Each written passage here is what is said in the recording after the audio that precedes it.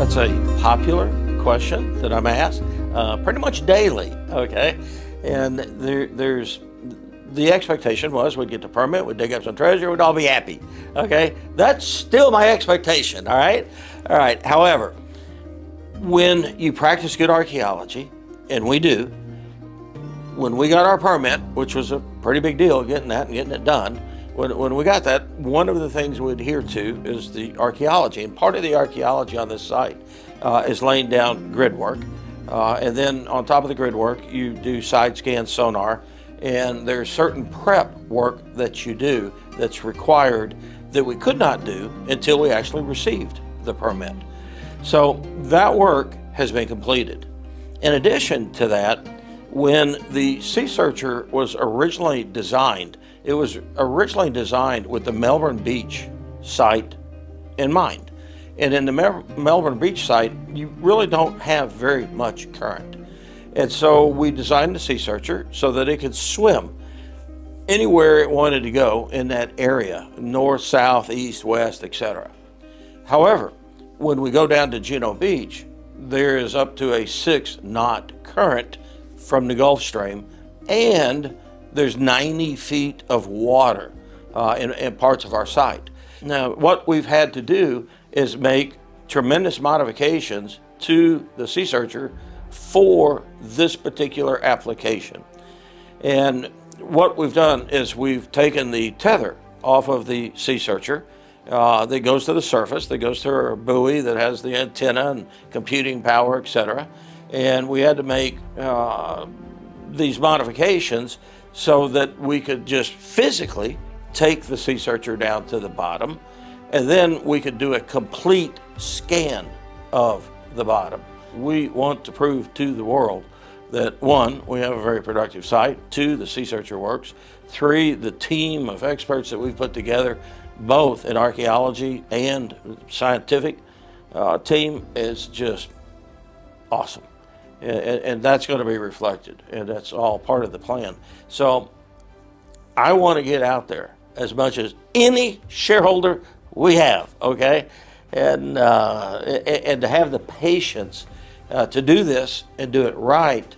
Uh, sometimes is a fairly tough thing, but now we've done all the modifications, we've done our testing, uh, and so hopefully in the not too distant future, we will have it down there. We will scan our site takes several days to scan the site. Can't just do it overnight. Uh, and then when we complete that, uh, we will then uh, begin our investigation of the site and actually uh, start our exploration and, and uh, excavation. That's probably the second most popular question I'm asked Kyle, what's happened to the price movement? You know, we, we saw it go from under a penny to three cents and back down to a penny, and it, it's bouncing around. And, and, and there's, there's several things, but the basic principle is the same all the time, and that's supply and demand. And there was a point in time when I met, went uh, several weeks ago um, up and I met with several uh, angel investors. And those people had never heard of Seafarer before. Uh, but once they did hear of Seafarer and they understood our concept that we've invented equipment that can see in 3D gold and silver under the sand when nobody else in the world has done that. And they realized that there are thousands and thousands of these wrecks, and that uh, some of these wrecks carried tonnage in gold and silver and then obviously the jewels, emeralds, etc. Once they were able to figure out their math, it was like, hey, if you've invented this, you can repeat this process and you can do it over and over. And because they're smart people, they bought the stock. And I think they're pretty sh sharp for doing that. And, and, so as they bought it, they created an imbalance in the supply and demand. The supply remained the same, but the demand went up. Now, as that price got to three cents, a lot of investors, also savvy investors that are smart, they had bought the stock when we were two tenths of a penny, three tenths of a penny, and now they're talking three cents. That's enough to stimulate some shareholders into selling a position or selling part of their position and, and, and taking some of the risk off the table.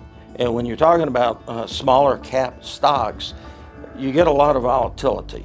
And because there's not huge volume uh, in, in most of the, the smaller cap stocks, then when you get an upset in demand uh, or you get more sellers, then you're going to have that swing in price. And it's just real simple. If you got more buyers, you go up. If you got more sellers, you go down. And, uh, and we've experienced that. We will experience that again in the future. Uh, that's just part of being a stock. And so, you know, I'm appreciative of the people who are long-term investors uh, like myself. And hopefully I will reward them the way I want to be able to reward them. Because uh, what's good for them is good for me.